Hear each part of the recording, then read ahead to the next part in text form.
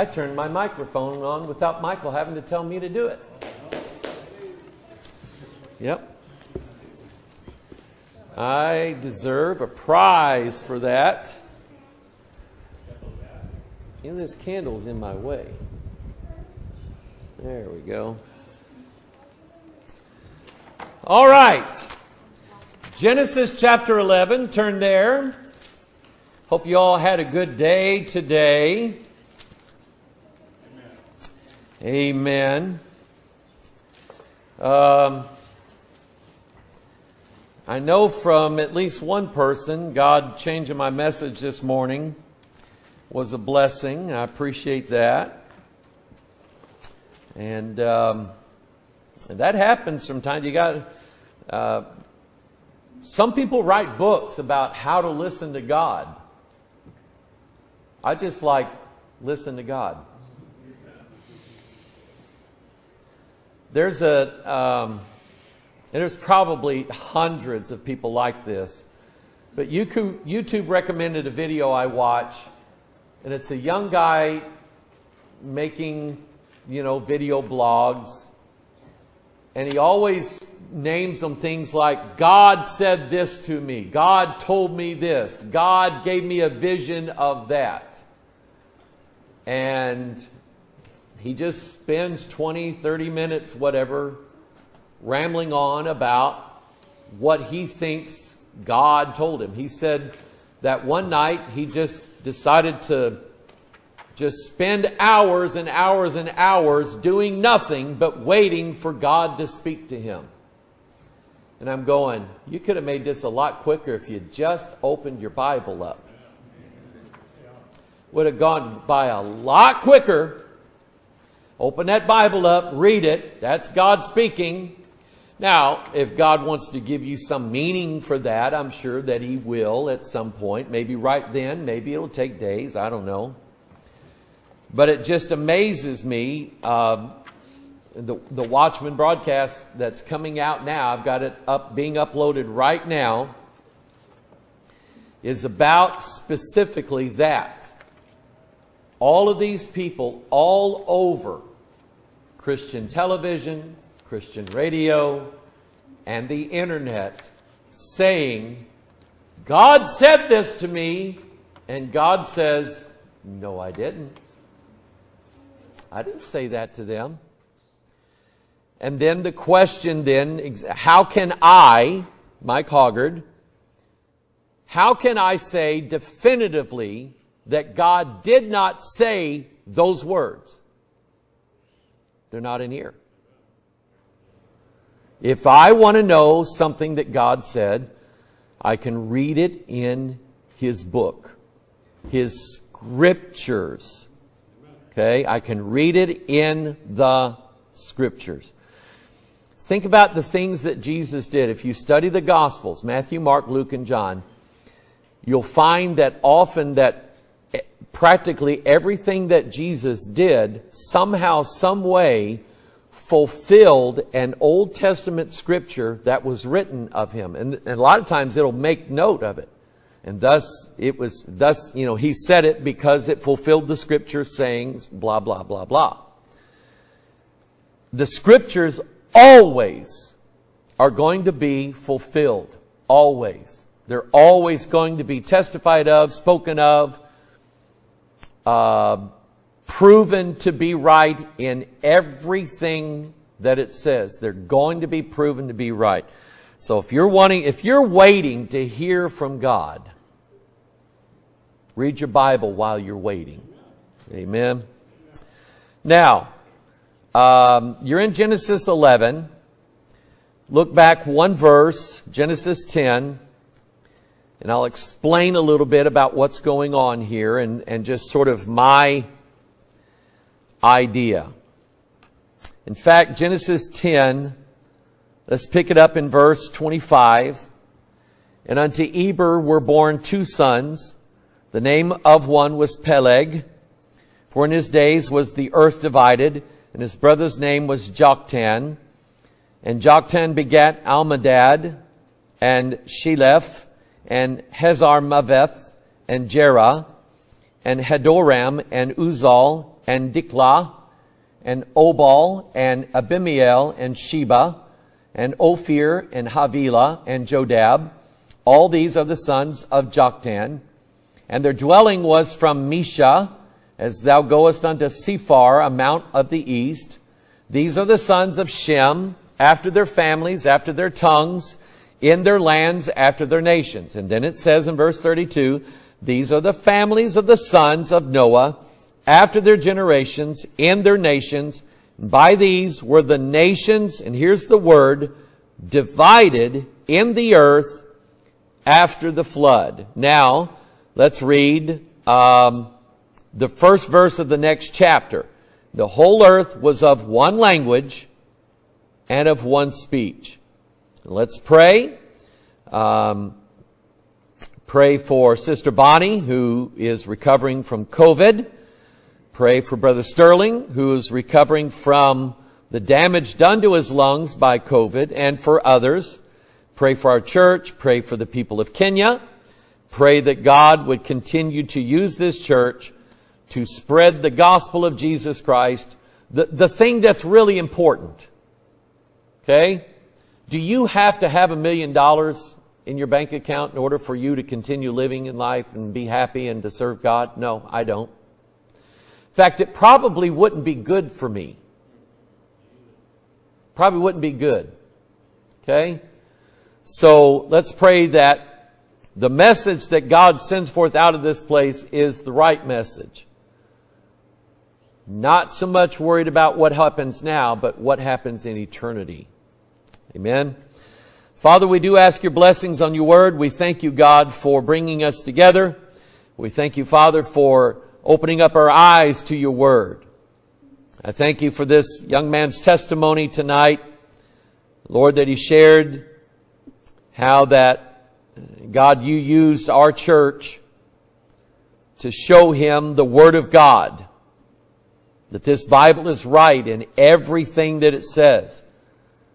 And Father, if this Bible's not right, where is it that we can turn to find the truth, the whole truth, and nothing but the truth? As Peter said, you have the words of eternal life. So Father, we thank you, God, for this book and for leading us to this book. Father, we ask God that you would open up the words of this book to our minds, our understanding. Uh, and Father, what we don't understand today, maybe a year from now, five years from now, God, you'll add something to it. Maybe six months from now, you'll add something to it that'll make sense. And it'll show us, Father, what's going on in our world and the shape that our world is in and why you do things the way you do.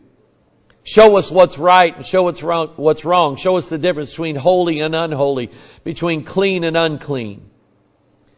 And help us, dear God, to be sober minded in everything that we do, to learn this book, to learn its doctrines, to learn the right way of salvation, to know the gospel, and to be able to share that with others. Bless your word tonight. We pray in Jesus' name. And all of God's people said, Amen. now, uh, the reason why I put those verses together very, very quickly, God apparently wanted everybody split up. So here's what he said he did. Number one, in Genesis 10, God is dividing everybody by the particular family that they were born from. You have the three sons of Noah, Shem, Shem is where we get the word Semite, and it's where the, the Israelites come from. They come from Shem. Ham, the father of the Hamites, Cush was one of those children of Ham, and um, and then Japheth. It is known that there. I got a wasp on my arm. Here he comes. Anyway, it is known that there are three primary races of men, Caucasoid, Negroid, Mongoloid. And so all three of those races descended from the sons of Noah, Shem, Ham, and Japheth. Um, I'm not even going to get into who came from who, but that's where they originated from. So God divided them, number one, by outward appearance. Okay? Some who are this color, some who are that color, some whose eyes do this, some whose eyes do that. God divided them that way by their particular family, but then they all spoke the same language. Then we find out Genesis 11 that the whole earth was of one language and of one speech. And we're going to find out later that God then confused all of those languages.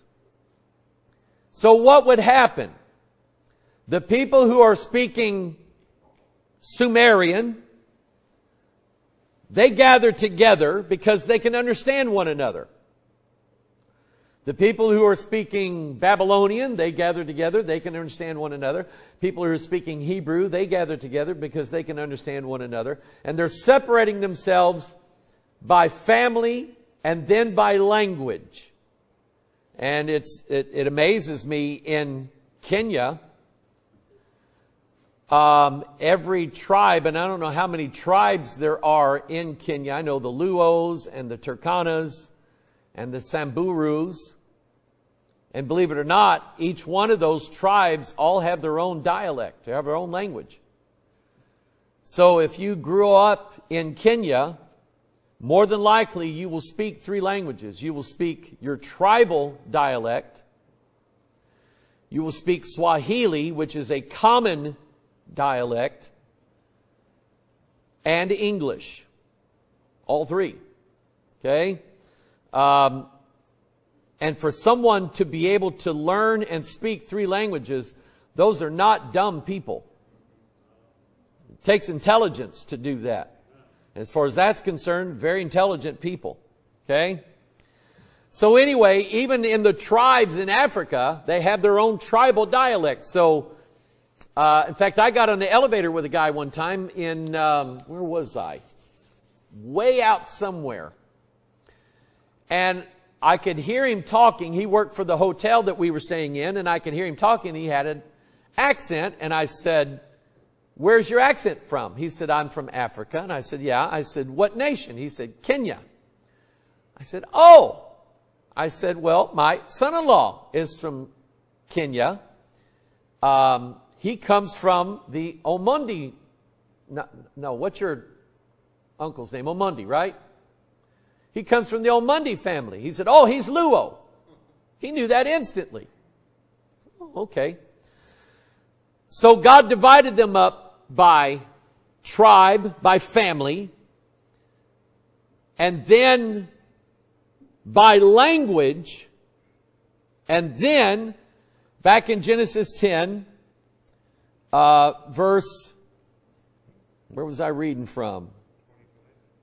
25, unto Eber was born two sons, the name of one was Peleg, for in his day was the earth divided. So I believe at that time, North and South America attached to Africa and Europe. So I believe there was one, if you look in verse 1 of chapter 11, whole earth. I believe there was one landmass, and God divided it. God separated North, South America from Europe and Africa. And then we know that a lot of the Malaysian islands or the Indonesian nations, some of those islands, they used to be connected together at one time. Now they're not connected together anymore. There's ocean covers them up and separates them out. Australia, New Zealand, New Zealand, the same way.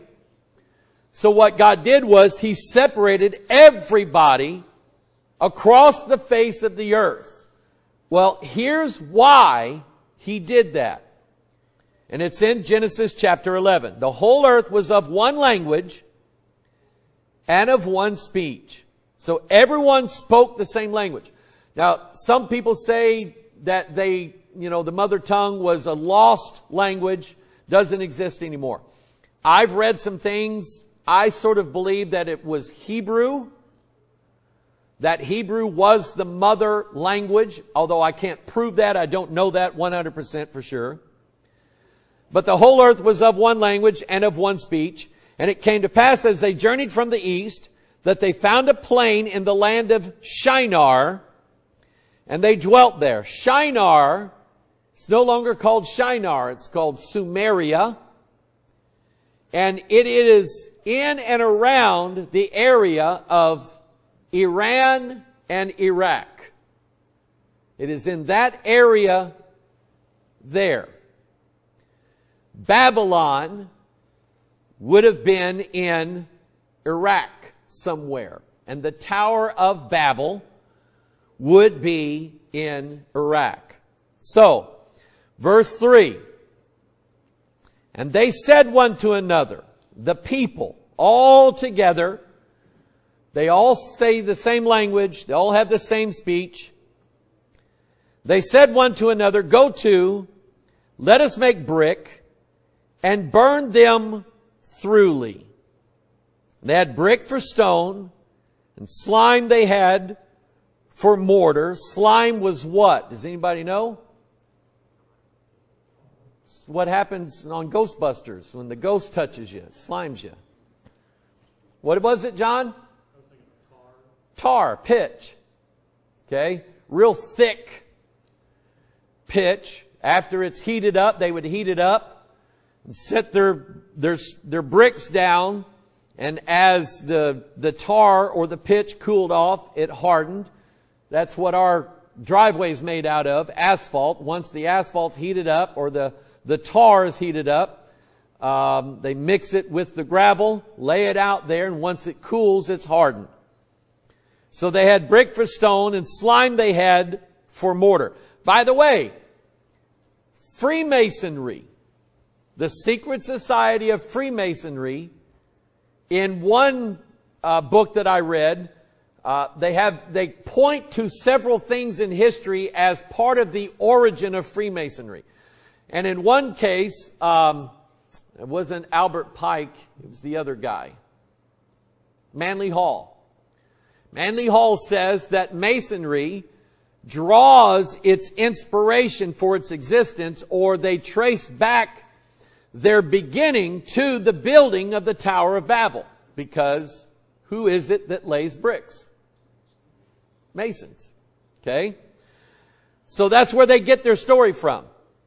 So they said one to another, let, go to, let us make brick and burn them throughly. And they had brick for stone, slime they had for mortar. And they said, go to, let us build us a city and a tower whose top may reach in unto heaven. And let us make us a name lest we be scattered abroad upon the face of the whole earth. Now, this is man's attempt at circumventing God's plan. And man now, that's in his nature. Because in Genesis 3, man lived in paradise. Adam and Eve lived in paradise. They had everything given to them for free. They had all the fruit of the Garden of Eden to eat freely they had everything handed to them. They did not have to toil. They did not have to labor. They had a perfect world that they lived in. But they chose to disobey God and not keep His commandment. Therefore, they fell and God said, I'm going to curse childbirth. I'm going to curse uh, the ground that you sow your seed on. And I'm going to make you work and sweat for the things you eat rather than me just giving it to you. See, it was paradise, but paradise was lost. But then God made a promise. He, he said to the serpent, the seed of the woman, there's going to be enmity between you and the seed, between thy seed and her seed, and it shall bruise thy head and thou shalt bruise his heel. And it's a sort of a prophecy of Jesus Christ. In other words, God had a remedy for man's fallen condition, and it was going to be the work of God. Turn to Revelation, all the way to the back of the book, chapter 21. so, man's already in a fallen state. And he wants to ascend up.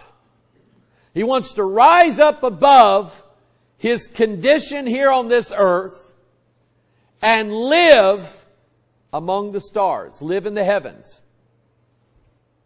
Revelation 21, John said, I saw a new heaven and a new earth, for the first heaven and the first earth were passed away, and there was no more sea. And I, John, saw the holy city, New Jerusalem, coming down from God out of heaven, prepared as a bride adorned for her husband. And if you keep reading, he says in verse 3, And I beheld a great voice out of heaven saying, Behold, the tabernacle of God is with men, and he will dwell with them, and they shall be his people. God himself shall be with them and be their God, and God shall wipe away all tears from their eyes. There shall be no more death, neither sorrow nor crying, neither shall there be any more pain, for the former things are passed away. So, God has this plan, Gary, of sending his holy city, New Jerusalem, down from heaven to be here on this new earth. God's going to remove all pain, all sorrow, all labor, all death, the sting of death. He's going to wipe all the tears from our eyes, going to wipe all the sweat from our brow, and it's going to be an absolute, perfect, utopian society forever as a gift from God to undeserving mankind. Amen? Man says, well, we don't want that. Because look at what they're doing. Let us build us a city and a tower whose top may reach into heaven. But God's already got a plan whereby He's going to send heaven and New Jerusalem down to earth to benefit mankind, not just for a little season, but for all of eternity. And you would think, well, that's a far better deal. But because of the wicked, depraved nature of mankind, man always chooses his way rather than God's way. And by the way, it's a dumb idea. What do we know about living on the moon? Because they're saying now we're going to have a colony on the moon. People are going to live up there. What, what do we know about living on the moon? How much grass grows on the moon? How many lakes up there are up on the moon? None. There's no air. There's no grass, no water. There's nothing up there. It is a impossible environment to live in. Okay? And I'll, I'm kind of getting ahead of myself, but living up in the heavens is infinitely more hazardous than living down here. Amen? Now, you're looking at a guy, in my childhood, astronauts were it. I always, I, I admired astronauts. I read every book I could get on astronauts and going to space and rocket travel and everything like that. I mean, I was a child of the 70s. I mean, that was me. That was my thing. I thought those astronauts were the greatest men that ever walked. Okay? And wanted to be them. But God has since convinced me that I have a better plan for my life than being an astronaut. Astronauts get killed. We lost the Columbia astronauts. We lost the Challenger astronauts. Apollo 1, we lost three astronauts, never even got off the ground. Supposedly, in the old Soviet Union, there was a cosmonaut that they sent up into space before Yuri Gagarin, but his mission failed. His oxygen ran out and he died in space. But of course, they didn't announce that. Okay? So, outer space is a horrible place to try to live. There are no resources, there are no natural resources. You can't find oxygen up there. Everything has to be taken off earth and put up there. But man's plan, still to this day, is this right here. Let us build us a city and a tower whose top may reach unto heaven. In fact, let me show you this. That, of course, is a Saturn V rocket. It's a tower. It's a tower. And they say that the, the thing that they were building in Babylon was a ziggurat, which was a step pyramid. In other words, you would ascend to heaven in stages. Well, it just so happens the rocket they built to send men to the moon was in stages. The first stage got them up off the ground. They dropped that. The second stage put them up in orbit. They dropped that. The third stage got them, uh, they accelerated around the earth and slingshotted themselves at about 25,000 miles an hour to head to the moon. It took them three days to get there. Okay? So everything they did was in stages. Just like Freemasonry or any secret society or any witch's coven. They say you can't just become a master wizard or a master witch or a high ranking Freemason the day you join. You can't do that. You have to go through the levels and the stages.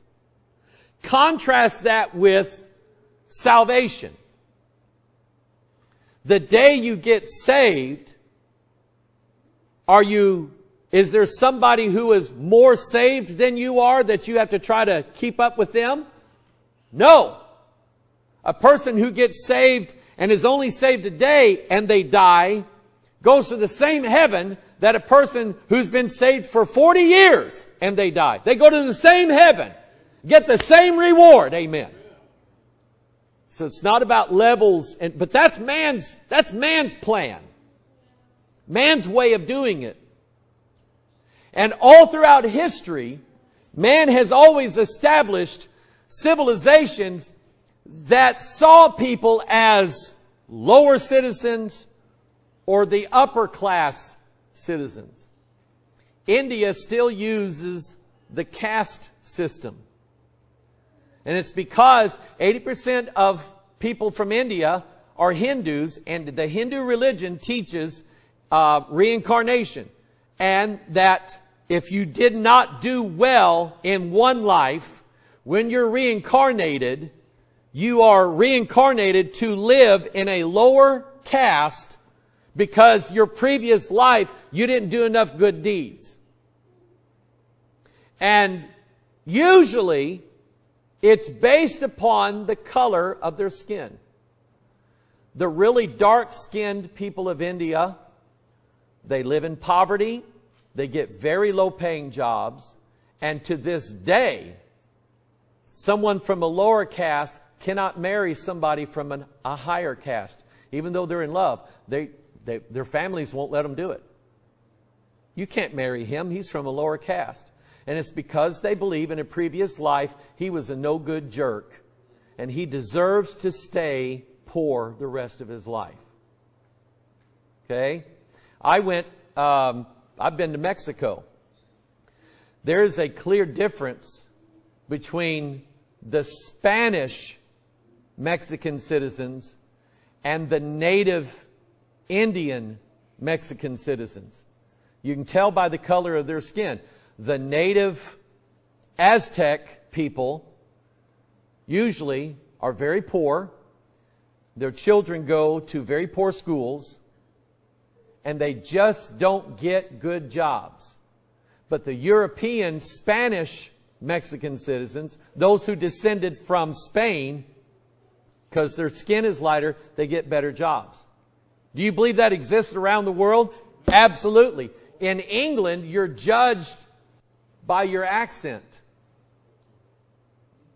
You're judged by your accent. If you have a proper British accent, then you are of a higher class of people than somebody who might have a Irish accent or a Scottish accent or a Welsh accent or a Cockney accent. You're of a higher class of people. I met a man who was a British newspaper journalist, editor, Alan Franklin. His wife was from this area, and he, he came and spoke at our church one time. I, re I really enjoyed him. Good, good Christian man. But he, he despised the classification system in his own country. He said, it still exists. And he said, the royal family, to me, it's a joke.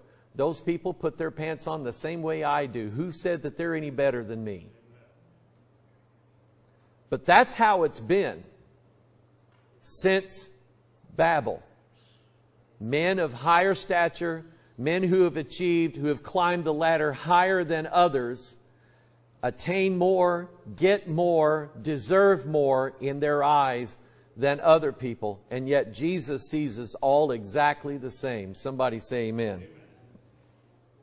By the way, we now have a city. Here's the tower. Here's the city. International Space Station. Go to, let us build us a city and a tower whose top may reach into heaven. Um, the movie Elysium.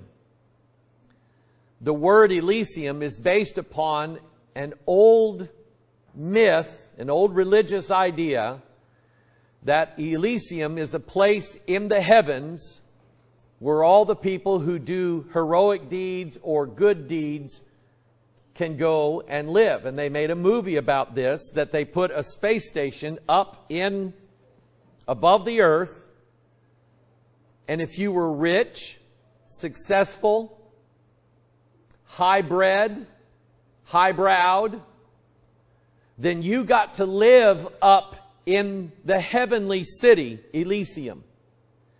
And up in the heavenly city, Elysium, they had technology where nobody, if you got sick, you just laid down in this little body scanner and it would scan you, figure out what disease you had, and heal you instantly. So that people up in Elysium could live basically forever. While all the people down here on earth were struggling with poverty and the government was tyranny and they had suffered disease and they didn't have any health care and it on and on and on. And the whole idea of the movie was to bring heaven down to earth. Sound familiar? Now that's a movie. Jeff Bezos, you know who that is? Guy that runs Amazon.com. He's him and um, Elon Musk have all this money and they don't know what to do with it. So they both got into the space business. Elon Musk building the dragon. You understand that? The dragon that ascends up into heaven, but he has to fall back down. Okay? Jeff Bezos presented his plan and he said, instead of us trying to go to Mars to establish colonies on Mars, it would be a lot easier if we built these revolving cities that uh, orbited our own planet. It would be a lot easier to get to them and we could build these floating cities up in the heavens, just like in the movie Elysium. We could plant things up there. We could create an environment up there. We basically could create a whole new world up there. Now, I have a theory about this. In Revelation, um, turn to Revelation 18. No. Where am I wanting to turn to?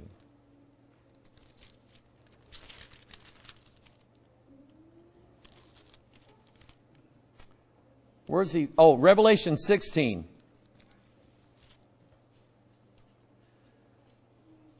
And I heard a great voice out of the temple saying to the seven angels, Go your way and pour out the vials of the wrath of God upon the earth.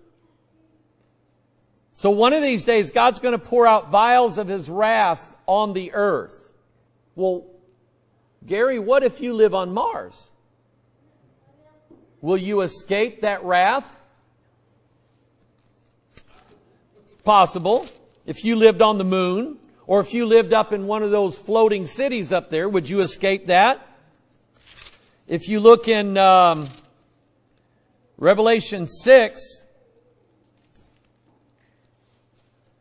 people are trying to escape what they know is coming. Revelation 6, verse 15, the kings of the earth and the great men and the rich men and the chief captains and the mighty men and every bondman and every free man hid themselves in the dens, which are caves, and in the rocks of the mountains. Now they're hiding underground. So we got people trying to live up in heaven and people trying to live underground to escape those things that are coming. Is it going to work? No. Doesn't matter if they form colonies on Mars. They're not going to escape. And all of this 2 Corinthians 5 1, for we know that if our earthly house of this tabernacle were dissolved, we have a building of God, and house not made with hands, eternal in the heavens. So again, God has already built a city for us higher than the heavens. And we're going to live there for eternity. And what did we do to deserve that? Nothing. All God asks us to do, give up our sin.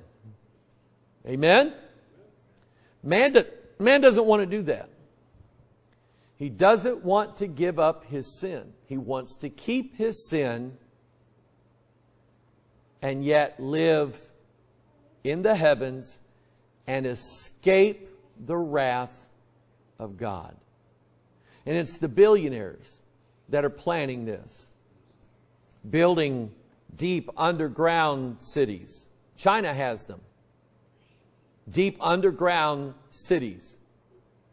Jeff Bezos, Elon Musk, and others theorizing we could build things where man could live up above the earth and escape any catastrophe that would happen down here on this earth, we would escape that. Yeah, but they wouldn't escape any catastrophe that would happen in heaven. But that's the way man thinks. Let's don't do it God's way. Let's do it our way. And the religion of Freemasonry is that you attain heaven by the work of your hands as a, as a mason. But look at 2 Corinthians 5. For we know that if our earthly house of this tabernacle were dissolved, we have a building of God, an house not made with hands. Jerusalem above wasn't built by our labor. It was built by God and given to us as a free gift because we trusted God's Word. We trusted in Jesus Christ. But man doesn't want to do that. So he wants to build a city and a tower whose top may reach into heaven. Turn to Amos chapter 9. To me, this, this fascinates me. God had foreseen that man would get to a place where he would leave the bounds of earth, go up into the heavens, all in an attempt to escape God's wrath. And they thought it was impossible. And believe it or not, well, I know you believe it because it's on the internet. There are people this day who are convinced that nobody ever went up into space. That was all done in a Hollywood movie studio, and it was fake. But what did God say? Amos chapter 9 verse 1. I saw the Lord standing upon the altar. And he said, Smite the lintel of the door that the post may shake and cut them in the head, all of them. And I will slay the least of them with the sword, and he that fleeth of them shall not flee away, and he that escapeth of them shall not be delivered. Notice verse 2. Though they dig into hell, thence shall mine hand take them. Though they climb up to heaven, thence will I bring them down. Though they climb into heaven, thence will I bring them down. And though they hide themselves in the top of Carmel, Mount Carmel, I will search and take them out thence. And though they be hid from my sight in the bottom of the sea, thence will I command the serpent and he shall bite them. In other words, is there any place that man can run to where he can escape the wrath of God? Tom DeLonge, the guy who started the rock band Blink 182, uh, made a bunch of money, and he's another one of these guys, got a bunch of money. Now I want to know what I can do with it. He formed a company called To the Stars Academy. And he's hired former Defense Department, former CIA, former NSA.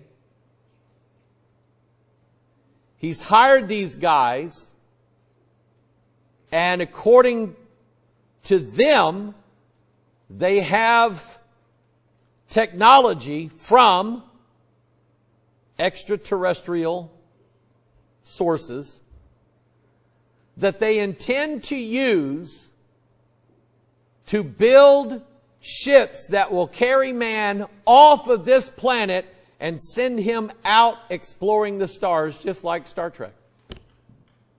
Dead, and these guys are dead serious. We're not talking about he went to a UFO meeting and found a bunch of guys that, hey, let's, let's build us our own spacecraft and let's go to Mars. No, he picked scientists who work for the Department of Defense and the CIA, and they work for Tom DeLonge now in his To the Stars Academy. The name To the Stars Academy means we want to go to the stars. We want to live up there. And they're even talking about the ability to warp space so that man does have the ability to leave this planet and go live on another one. And they're dead serious about this. Very serious about it. So that's Amos 9. Now turn over to the next page, Obadiah.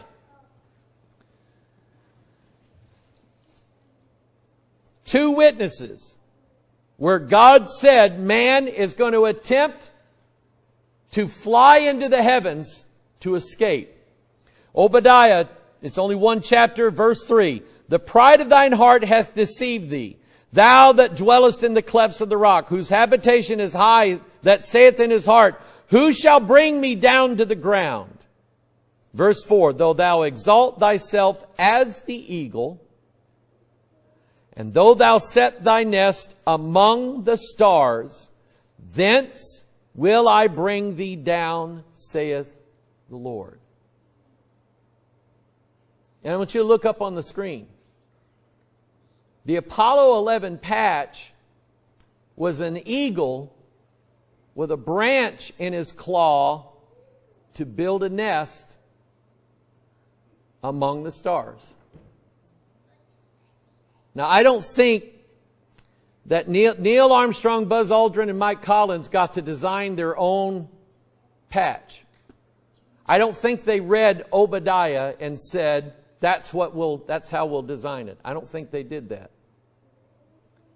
But I think God foresaw the future. God knew that it was going to happen. So now we're living literally in a time. They're talking about the technology to get us out of this earth to live in space. and the ability to alter man's genetics so that he can survive living in space. Altering mankind, giving man a future because it's like it's in the back of their mind that something bad is going to happen on this earth. And when it does, we want to be gone from here so it doesn't happen to us. But what does God say? If you get up there, I'm going to bring you back down, saith the Lord. There's an easier way. If you want to see Mars, here's an easier way. Trust in the Lord with all your heart. Lean not to thine own understanding. In all thy ways acknowledge him, and he shall direct thy paths. I'm going to get to see Mars one of these days. And Venus, and Saturn, and all the stars of heaven. I'm going to get to see them one of these days without a spaceship. Amen? I'm going to get to live not in heaven, above heaven. The heaven of heavens, the Bible calls it. Is there a heaven above heavens? Yes. It's where God lives. We're going to be there one of these days. Amen? So, God had to put a stop to this. I, it's past five. But next week, God had to put a stop to this. And He did. And so next Sunday night, we're going to talk about confusion of tongues, confusion of languages. I wish Wayne were here. Wayne was as good at faking tongues as anybody I've ever heard in my life. He did that one night and I went, that's good. So the question is, is it a blessing of God to speak a language that nobody knows what it means? Or is it a curse? And read Genesis 11. What did God do when he saw the imagination of man giving him ideas to build this city and this tower whose top may reach into heaven? What did God do? He cursed man. He didn't bless him. He cursed him. Okay? And even listening to somebody speak English who's from another country, that's hard too. That's hard. Let's stand to our feet.